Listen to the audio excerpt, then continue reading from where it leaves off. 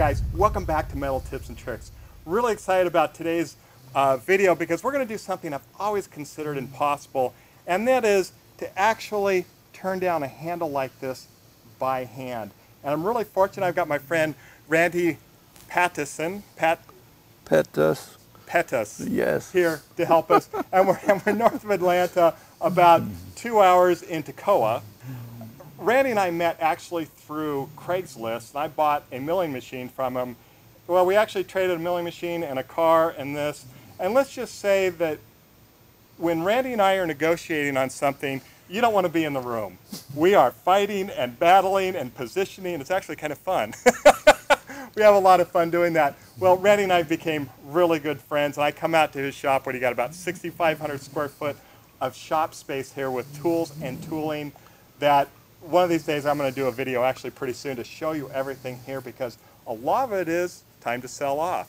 Yes. So uh, we're going to talk about that on another video. But Randy's going to show us something that is, I consider impossible, and he's going to prove me wrong today.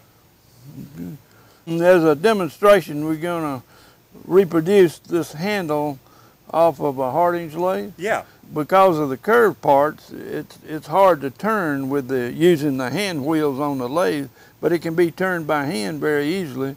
And, you know, back when uh, machining began, everything was turned by hand. And, and of course, it applies to small parts and, and large parts. Well, and you're telling me about an engine you saw in England that the head was actually turned down. Yes, in, at the Kew Bridge Museum in London, they have two huge steam engines there. And uh, you can go up on top and see the top of it. And the cylinder head on a engine with a 90 inch diameter piston in it, that casting was machined by hand using what the guys there call a lance. It was a, a pole with a chilled cast iron insert on the end of it, and they used it to turn. And the, the head, and of course the head has all these curlicues and fancy No. curves. And, yep, a big, big cast iron casting, all turned by hand. Tell us what you're going to do here, and let's start turning some metal. Well, I'm going to rough down the, the part so we will gouge off as much metal as quickly as we can to save time, and then we'll go to the hand turning tools to turn all the curved portions of it.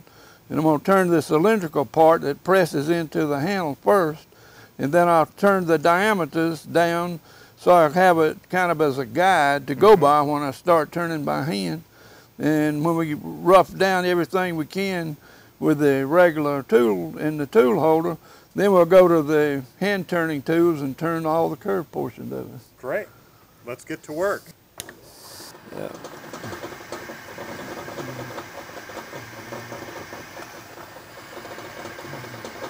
We're, this is C1018 cold roll steel. Uh, you know, just average everyday material. And I'm not after a finish. All I'm after is, get, is getting the material off. This is a Rockwell 10-inch lathe with a variable speed, and, and it, for small parts, it's the, my favorite machine in the shop because it, it works so good with collets.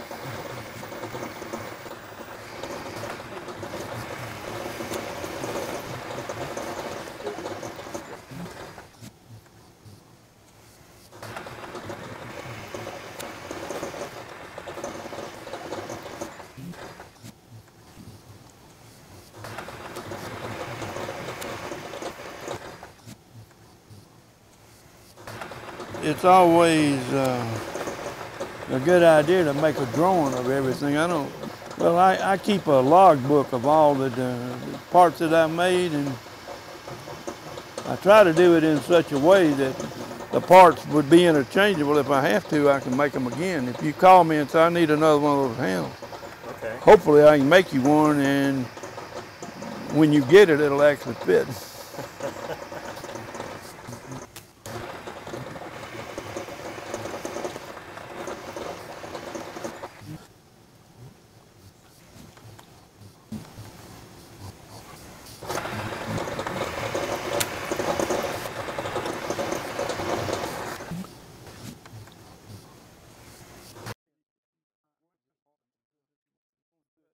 All right, we're going to change to our tool bit that allows us to go straight in and uh, try to hog off some of the superfluous material that we've got there that we don't, no sense in turning by hand something we can uh, turn with a machine.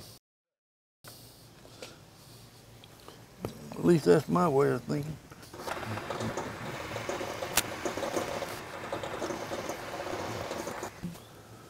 My little drawing shows that neck down area at 162 in diameter. So see where we're, Yeah, we're going. there? match it up so they can see what you're. Yeah, we got our little shoulder there. And now I'm trying to rough down this small diameter here. And once I get a, a diameter, then I can blend the OD of the big piece here to the curve of the small piece Uh-huh. just by turning it by hand.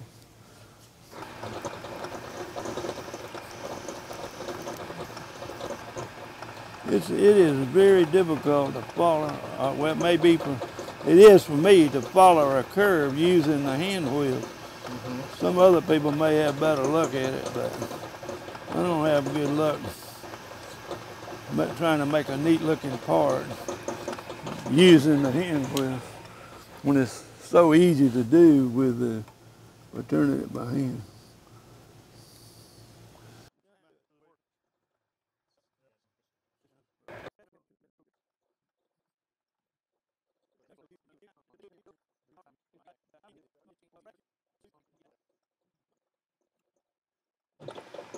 Man, there it is, kind of rough down.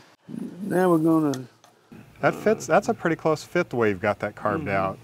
And then it'll, it makes it a lot easier to, to not. You want to take off the least you can by hand, and, mm-hmm. but you don't want to cut it too close to where you don't have something there to clean up with a hand tool. Right. So then you're going to carve out this center part, mm-hmm. and then you're going to work on this end a little bit, Yep. and then we're going to cut it off, turn it around, and then finish that end. Finish the radius on the end. Excellent. So now we're going to switch to the hand tools. Yes. So I'm I'm excited to see how you do that. Uh, on a big lathe, I just use a piece of key stock held in the tool holder to, like I would a regular tool bit. But, but here, it's just easier to just turn it around, anything to hold it up. So we're trying to get this level, and we're going to actually use this to put the tool on. Yes, that's. I'm gonna use that as a tool rest, just like you would a wood lathe. Okay. And uh, take my homemade tool. It's just a tool bit. Uh, made a little adapter and drove it into this handle that I got at the pawn shop for 25 cents. Now what I want you guys to see, see how small this tooling is? So you don't need something large and heavy, because originally when you were talking about this, I thought you'd have this big chisel in your hands, but you've got this very delicate um, chisel. Well, it- And then the point on this, and you've got even smaller Yeah, ones. that actually is a big one. Here's a, uh, this is in a brand new original graver. It's a eighth of an inch square, and it's used by engravers. It's you know a graver. Okay. You can still buy them new. That's the one I made to use on bigger parts, Mm-hmm. and just because the handle is larger, it's just easy to Makes use. it easier. Yeah, but these are um, these are store bought. I mean, these are some um, watchmaker in uh, Europe gave me these. These are original watchmakers tools from France. But that's all Yeah. you need. They're just the eighth of an inch square. which is amazing. Now, and what's interesting is it's easier to see the um, profile to the edge here because I had originally thought that you would, the tooling would look more like it is for a normal metal lathe, but Yeah. really you've got a diamond shape here and we're going to actually peel off the top this way. Yeah, yeah. When I was trying to learn, I couldn't find anybody to show me. And I thought you would use it like you described. And the secret was that you turn on top. You don't turn down on the side, you turn on top. If you try to turn down on the side, it'll hang and bend your tool, uh, so you have to be careful. But if you turn on top and it hangs, it just pushes it backwards, so it doesn't damage the tool That's or all the work for that Okay. one. Uh, only reason I'm using this one is just because the handle's bigger. It's a little more convenient. okay. It doesn't work any better than the little ones, but just to clean up some of that stuff there. Now, do you ever use oil for this? Uh, no, I don't. I, it might help, but I don't. I'm gonna have to sharpen my tool. The same rules of turning apply to this. There's no free lunch, so you don't get anything for nothing. Just because you're turning it by hand, you have to follow the same speeds and speed rules that you would normally use.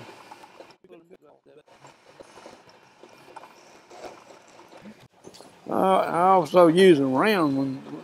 This is just a, a round high-speed tool bit driven up into that little file handle. But it works good on inside curves. The cutting forces are very low. That's why the tool is so small. You want to try it while we're here? Yeah. You want to feel of it? Because we got extra material right in there. Just try climbing that radius there and see see how low the, uh, the cutting forces are.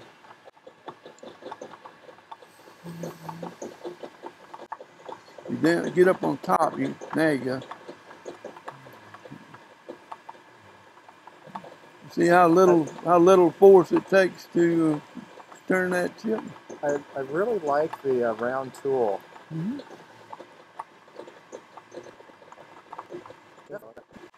Don't get too far back, and I can fix it. So. Randy, you have no faith in my leave, leave, ability. leave me a little bit of material and I can always fix it.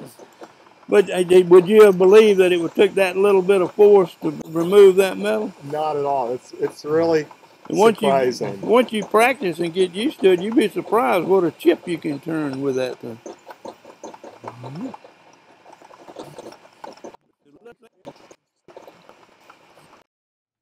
Okay, go ahead. All right, we uh, we turned the part. Uh, we took the stock out, and sawed it off in the bandsaw, changed the collet. We're going to hold it by the cylindrical part there, and finish machining it. Polished it up a little bit with some sandpaper, and it should be finished.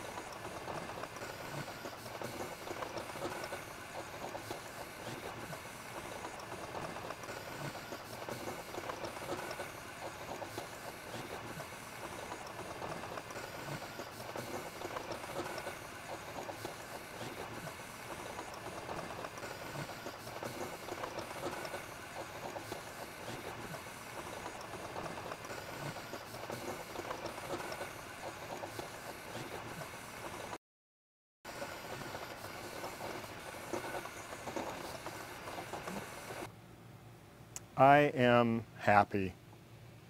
This is one of these projects I've really dreaded having to do, or actually, I was going to look for the part and buy it, but now I don't have to. If you call them and ask what they want for one, I'd be curious to what they had to say. I'm scared to make that phone call. Because, you know, the Hardinge brothers probably want to still make their money even out of their great. But is that smooth enough? You want to? We can sand on it. Well, you know, I think we'll sand on it later. I think we should uh, wrap this video up. Okay. Guys, I hope you've enjoyed this video. Randy, I got to say, this has been fantastic. You know, I got to say, I'm really fortunate that I got to meet Randy and I got to have a real, true mentor in the area to teach me about machining. I come up to Randy's shop about once a week and he's always teaching me something that is fantastic. And all I have to do is come in and clean up around here. it's kind of an adventure. As long as I'm getting eight hours of work for an hour of teaching, I'm in good shape. You are. Randy, I want to say thank you. Thank you, Dave. And you guys, now go out in your shop and, Build something cool. all right, you guys, till next time, take care.